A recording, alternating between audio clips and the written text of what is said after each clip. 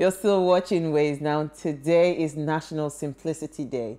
This day was born out of a need to be free from the complications of the world and to allow ourselves to just be simple. Celebrate life through simplicity by turning off your devices, getting rid of complicated things, and just let life be about living for a day. It's as simple as that. Can you live simple lives, ladies? Hmm. That's a tough one. Wait, so okay, because we're not going to go into it deeply, but I just okay. want to ask a question. Can you do without your phone for like a week? Without my phone? Yes. Do I do I get to read books? Yeah. Yes, please. No gadgets. Yes, please. So you can do without phone. Absolutely. Phone. Okay, so let me add phone, TV, no, like internet connectivity, everything. I can't do without. But you can read. You can read hard books, hard hardcover books. Uh, uh yes, I would still. So no. you can't. Oh, Uti, how about you? No. Um, so I can live without the internet. I'm not sure about my phone. Just so if you talk about if you separate communication from data, so I can live without data. But in terms of communication, I think I still need phone calls. Um, but definitely read books. Um, I'm very comfortable in my own company, so I don't really need a lot. But yeah, okay. I'm not sure that I can go without phone calls. I, because you, you know how to talk for Africa. Since you're talking, oh yeah, tell us, what did you find for us in the news today? okay, so um, I mean, sort of following on from um, the show on Friday where we talked about statistics um, and then looking at um, what's it called now? The ASUU um, our position on the US law with uh, 16,000 students who are at risk yeah. of being um, deported back to Nigeria. So, of course, part of the issues that we have currently because of the um, COVID 19 uh, pandemic is the fact that some schools have switched over to online um, classes only. Some schools actually were online classes only to begin with. Um, and the US Department of Immigration um, who run the student and exchange visitor program have now said that all foreign students who are enrolled in online only classes um, must leave the United States. So they intend to deport about 16,000 students. Wow. Um, or the alternative is for them to switch to schools where they will have to take, um, you know, in-person classes.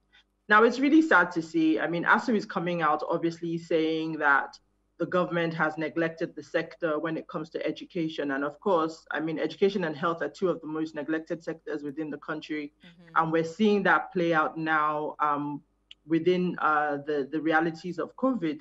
The fact that, um, sad to say, that we have all of our, or rather, we have so many of our young people having to go just next door to the Republic of Benin, to Ghana, Forget people who are as far away as the United States or the UK, but we are now seeing that half of the foreign students in um, Ghana are Nigerians. So between uh, Ghana, the Republic of Benin, Togo, Cameroon, even going to Sudan, you know, for, for them to seek uh, education or tertiary education is really, um, it's sad to hear. So the fact that people still you know, we still struggle with strikes here in Nigeria. So when ASUU is even talking as well, sometimes you think you're part of the problem, right? But the reality of it is that the government has neglected the sector. We find that most of our ruling class will send their children abroad, and now we're left in this position. So we wait to see what will happen. Mm. Um, it's not conclusive yet, but basically, these children, these young people are all at risk of being deported. Of course, we know that going to study in the United States is not cheap.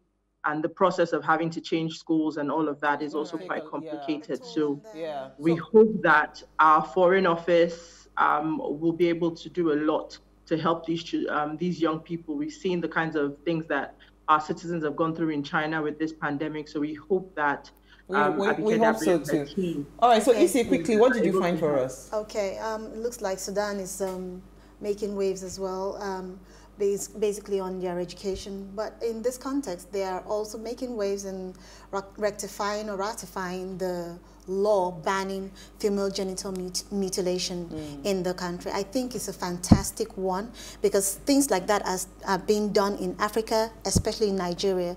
We're still being practiced in northern uh, Nigeria and Middle Belt and some part of uh, South South.